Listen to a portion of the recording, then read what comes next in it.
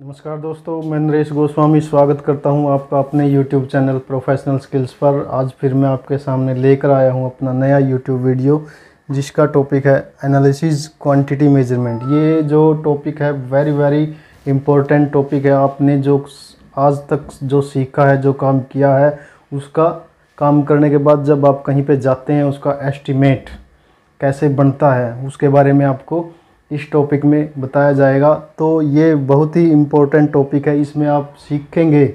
क्या सीखेंगे? कि मान लो कोई भी प्रोजेक्ट है, आप जहाँ पे फीडिंग करने के लिए जा रहे हैं, वहाँ पे कौन सी आइटम मतलब जितनी भी फिटिंग होती है, कितनी क्वांटिटी में वो लगेंगी और कौन सी कौन सी हैं आइटमें हैं जो वो लगेंगी। एक पूरा इनिशियल जो प्रोजेक्ट हम स्टार्ट करते हैं, मान लो कोई पचास गज का कोई घर बना रहा है या सौ गज का घर बना रहा है, उसमें कितनी आइटमें और क्या क्या लगेंगी और उनकी कितनी कितनी मात्रा लगेगी, इसके बारे में, इस जो टॉपिक है उसके बारे में आपको बताया जाएगा। सबसे पहले जब हम कोई भी एस्टिमेट तैयार करते हैं, मान लो कोई घर बना रहा है, उससे पहले क्या करता है? सोचेगा भी कितनी एरिया में बनाना है और क्या क्या बनाना है, उसका नक्शा अप्रूव कराएगा। उसके बाद जो सोचेगा कितने कमरे बनाने हैं, कितने बाथरूम होंगे, कितने किचन होंगे फ़र्स्ट फ्लोर ही होगा, सेकंड फ्लोर होगा या ओनली ग्राउंड फ्लोर होगा।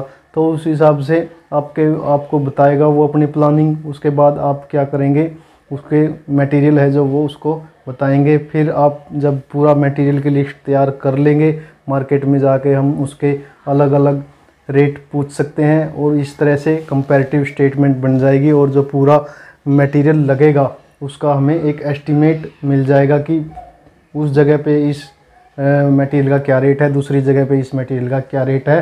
तो हम इस तरह से अपना मटेरियल सिलेक्ट कर सकते हैं।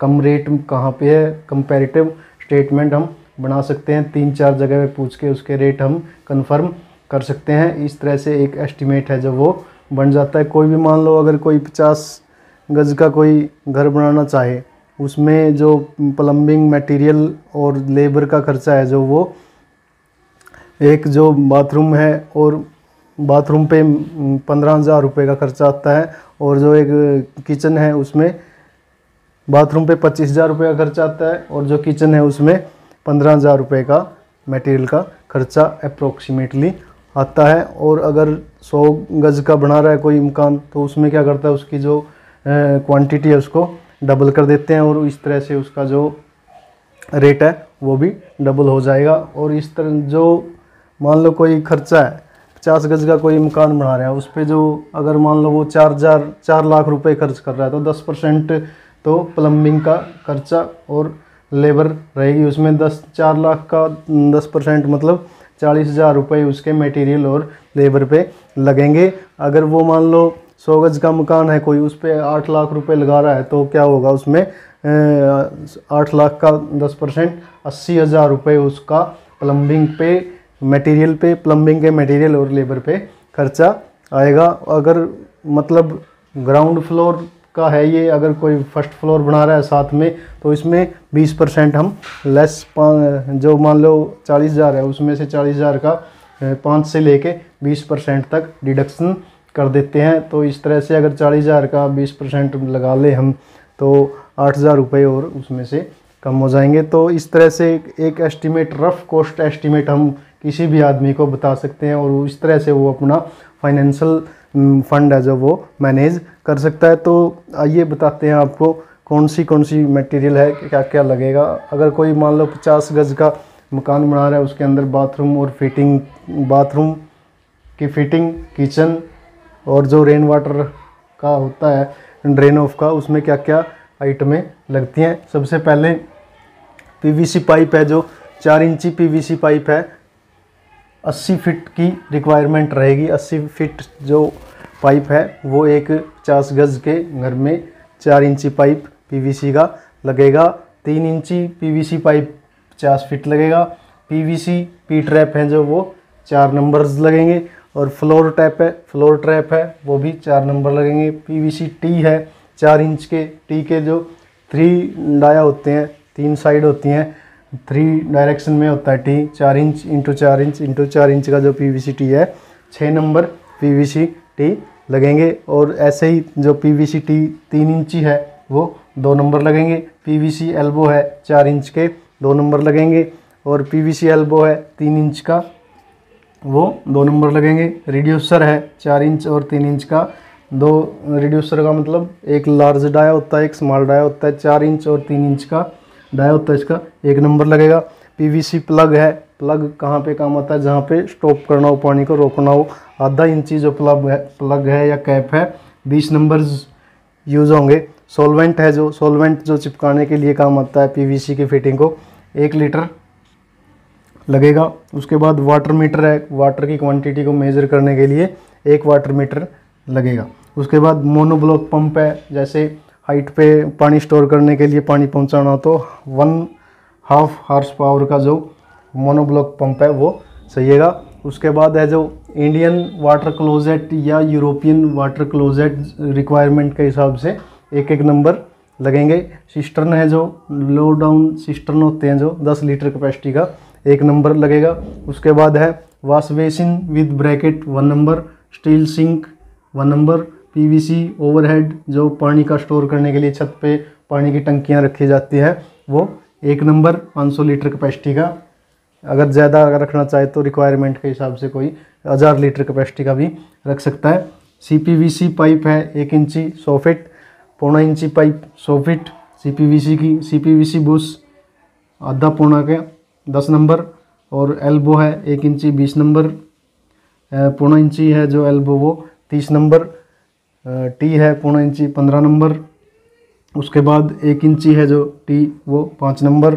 सॉकेट है जो पौना इंची, वो पंद्रह नंबर। और एम टी है पौना इंची, छः नंबर। इस तरह से आगे हैं जो और आइटम है। C P V C solvent है, दो सौ ग्राम सॉल्वेंट चाहिएगा हमें। और यूनियन है जो एक इंची, चार नंबर। वाइट लेड है, सफ़ेदा बोलते हैं जिसको। वो पाँच सौ ग्राम। और सी आई ग्रीटिंग्स ग्रीटिंग्स होती है कास्ट आयरन की जो जाली होती हैं छतों में लगती हैं, ताकि जो ऊपर के वर्षा के पानी के साथ कोई कचरा ना आए। चार नंबर स्टील की हैं जो ग्रीटिंग्स बाथरूम वगैरह में जो लगती हैं जालियाँ। चार नंबर, चार इंची है इनका डाया एम एस हुक है थ्री के जी और थ्रेड रील है जो धागा होता है cotton thread reel ten number hand hacksaw blade हैं जो, दस नंबर। आगे है शॉर्ट बॉडी को जो टूटियाँ होती हैं शॉर्ट बॉडी फाइव नंबर और सी पी कंसील्ड है, एक नंबर बाल वाल्व है, तीन नंबर एंगल वाल्व है, सात number C P waste coupling एक नंबर और क्या नाम है पी वी सी कनेक्शन दो नंबर लॉन्ग बॉडी कॉक है, जो टूटियाँ होती हैं छः नंबर सी पी निप्पल है, एक नंबर पिलर कोक है, एक नंबर उसके बाद P V C waste pipe है टू नंबर ब्रास टी है पौना आधा की दस नंबर एल्बो है, दस नंबर एम टी ए है पौना आधा की दस नंबर एफ़ टी ए दस नंबर एम टी ए एक इंची छः नंबर और टैंक निपल है, दो नंबर टैंक निपल लगेंगे टावल रिंग है टू नंबर और एक जो वॉश बेसिन के ऊपर शीशा लगाते हैं फेस देखने के लिए, एक नंबर। तो ये सारी आइटमें हैं जो एक प्लम्बर को, किसी भी नए प्रोजेक्ट को लगाने के लिए यूज़ करनी होती हैं। इन सारी आइटमों का एक प्लम्बर को पता होना चाहिए। तभी वो कोई भी फिटिंग है जो प्रोजेक्ट है उसको अच्छी तरह से कंप्लीट कर सकेगा। और ये लिस्ट बना के जब आप किसी भी ओनर को दोगे तो वो अपना एस्टिमेट लगा के या रेट एनालिसिस करके वो अपना ले आएगा। इस तरह से ये पूरा प्रोजेक्ट है जो आप आसानी से कंप्लीट कर सके थे। ये जो इम्पोर्टेंट टॉपिक है, आपको इसका पता होना चाहिए कौन कौन सी फिटिंग यूज़ करते हैं, क्यों? आपने जो प्लम्बर का कोर्स किया, उसके बाद नए प्रोजेक्ट भी आपने स्टार्ट करने हैं। तो पूरी जो लिस्ट है, वो आपको पता होनी चाहिए। स्क्रीनशॉट आप लेना चाहें तो इसका ले सकते हैं। इम्पोर्टेंट टॉपिक है, कोई नहीं बताएगा आपको। जनरल टॉपिक है, जहाँ जाएँगे, सभी पूछेंगे, क्या लगेगा सामान, बताओ। तो ये सामान है दोस्तों, जो आप एक पूरे प्रोजेक्ट में लगाते हैं। इससे इतनी ज़्यादा लिस्ट पूरी डिटेल में आपको कहीं भी नहीं मिलेगी। तो कैसा लगा आपको आज का टॉपिक, ज़रूर बताएँ। कमेंट में अगर कोई क्वेरी हो तो आप ज़रूर पूछें और अपडेट के लिए नोटिफिकेशन बेल आइकन ज़रूर प्रेस करें। वीडियो आपको अगर अच्छा लगा हो तो ही लाइक करें, वरना लाइक करने की ज़रूरत नहीं है। तो चैनल को सब्सक्राइब ज़रूर कर दें। थैंक यू दोस्तों, पूरा देखने के लिए वीडियो।